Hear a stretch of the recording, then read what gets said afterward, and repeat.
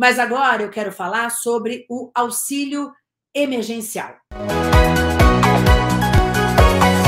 O ministro da Economia, Paulo Guedes, disse essa semana que o auxílio emergencial não vai ser renovado. Agora, em outubro, portanto, seria a última parcela do auxílio emergencial. E eu falo seria na condicional, porque quem está acompanhando esse assunto sabe que já houve várias idas e vindas. Olha, já acabou, inclusive, o auxílio emergencial, voltou depois de alguns meses a ser novamente distribuído aí para a população é, carente, né, de baixa renda, baixíssima renda mesmo do país. Então, e ainda há uma grande discussão no governo.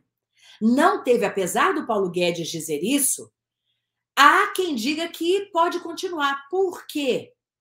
Porque o Auxílio Brasil, aquele que vai entrar no lugar do Bolsa Família, e que está sendo discutido lá no Congresso Nacional, até hoje não foi aprovado. E aí, como é que faz, eu te pergunto? Essas pessoas que já estão miseráveis, que já estão passando fome, vão ter que esperar isso ser aprovado pelo Congresso? Será que isso vai ser aprovado pelo Congresso? E detalhe, tem que ser aprovado esse ano, porque ano que vem é ano eleitoral e a legislação proíbe que sejam lançados assim programas assistenciais, como será o Auxílio Brasil. Então tem que ser votado esse ano. Só que até agora no Congresso Nacional a coisa não avançou. Por quê? Porque depende do dinheiro, de onde vem o dinheiro. Essa é a pergunta que se faz. De onde vem o dinheiro para pagar agora esse aumento que eles querem dar no Bolsa Família? O Bolsa Família, a gente sabe hoje, pode chegar ali até 89, cento e poucos reais, mas a ideia do governo, vamos lembrar, era aumentar isso para 300 reais.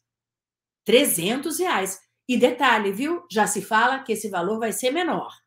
Agora, com esse projeto ali do Auxílio eh, Brasil, já se fala que vai ser menor, que não devem ser 300, devem ser 230. E, de novo, eu digo para vocês: temos que esperar até bater o martelo para saber quando vai ser entregue esse dinheiro. Para quem vai ser entregue esse dinheiro? Dizem que é só para quem já tinha o Bolsa Família. Isso deve excluir 20 milhões de pessoas que hoje recebem o auxílio emergencial. Como é que vai ficar a vida dessa gente? Que está passando necessidade. O jornal Folha de São Paulo hoje, eu vou mostrar aí para vocês a capa da Folha de São Paulo hoje. Eu não sei uh, quem leu, mas se não leu, tá aí uma informação importante. Dobrou o número de favelas no país. E mais, gente, eles fizeram um levantamento aí nessa reportagem que mostra o seguinte: 20% dos brasileiros têm insegurança alimentar. Isso são mais ou menos 40 milhões de pessoas. Você acha que para por aí? Não.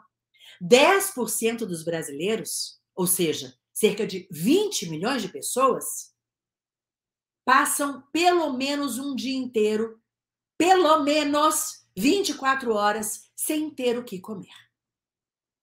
Então, nós estamos falando aí de pelo menos 60 milhões de pessoas, gente, em situação de desespero. Porque você não saber se você vai ter comida é situação de desespero.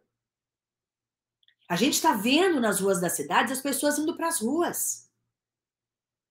Nós vimos o caso dessa moça que roubou o miojo e foi presa por causa disso. Ela mora na rua não tem a menor condição de, de conseguir comida, de pagar um aluguel, de garantir uma qualidade de vida para os cinco filhos dela. Então é essa a gravidade da situação em que a gente se encontra. Para piorar, ainda tem a inflação. Essa mesma pesquisa da Folha de São Paulo levantou que dois terços dos alimentos tiveram aumento acima de 20% da inflação. É uma preocupação muito grande, muito grande que essas famílias estão vivendo. Elas já vivem nessa insegurança há muito tempo. É, era para ser 200 reais, era o que queria o governo federal, era o que queria Bolsonaro e Paulo Guedes. Jamais esqueçamos, 200 reais. Quem aumentou para 600 foi o Congresso Nacional. Vamos aos fatos. Esses 600 foram mantidos por algum tempo, mas agora, o que, que disse o ministro Paulo Guedes? Ele falou que a, a situação está voltando ao normal e que só deve ser prorrogado o auxílio emergencial se tiver uma nova onda, se surgir uma nova variante. Aí, a crueldade que de algumas pessoas é inacreditável, eu quero que vocês me digam o que, que vocês acham de uma declaração que foi feita pelo líder do governo na Câmara dos Deputados, líder do governo Bolsonaro na Câmara dos Deputados, o senhor Ricardo Barros, deputado, aquele que está envolvido até o pescoço com as denúncias de corrupção no Ministério da Saúde, de compra de vacina, com a Global, aquela empresa que faz logística, distribuição de medicamentos, tá até, até aqui não, tá até aqui de denúncia de corrupção do MDB, esse pessoal, né? Sabe qual foi a declaração dele? Para essas pessoas que estão ali contando dinheirinho e morrendo de medo de o dinheiro acabar, de não receber mais auxílio, de não ter direito a, ao Bolsa Família ou Auxílio Brasil, como querem chamar, sabe o que ele disse? Eu vou ler o que ele disse. Foi uma entrevista ao site Congresso em Foco.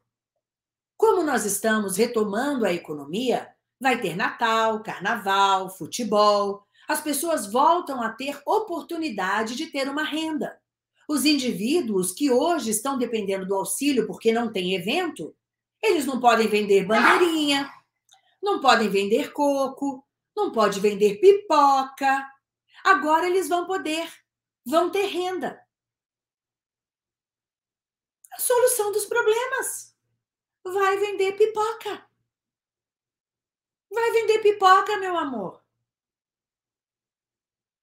Então é de é de uma crueldade é de um distanciamento da realidade das pessoas, é de uma falta de empatia e mais, vindo de um deputado, é de uma falta de cuidado com o povo brasileiro, com a população mais sofrida do Brasil, que se indignar é pouco. Se indignar é pouco. E a gente já viu esse tipo de atitude com o próprio ministro Paulo Guedes, né? Outro também que fala: olha, imagina, tudo bem substitui uma coisa pela outra, tudo bem. A gente viu o ministro da Educação né, dizendo também que universidade não é coisa para pobre. Vai vender pipoca. Vai passar a sua vida vivendo pipoca, vendendo pipoca, vendendo coco e vendendo bandeirinha. Precisa estudar, não. Estudar para quê? Estudar para quê? Para entender das coisas? Para entender dos seus direitos, dos seus deveres? Para saber reclamar? Imagina, vai vender pipoca.